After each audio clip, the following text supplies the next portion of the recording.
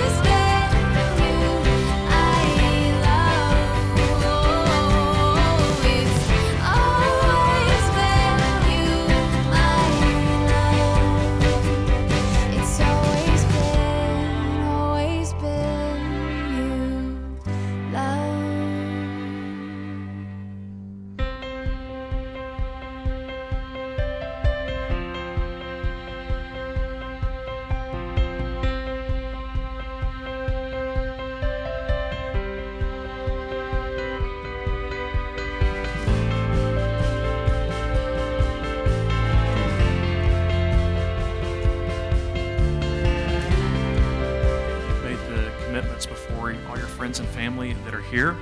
And it's because of these promises that you've made today in front of them and um, in front of God that I pronounce you as husband and wife. You may kiss your bride.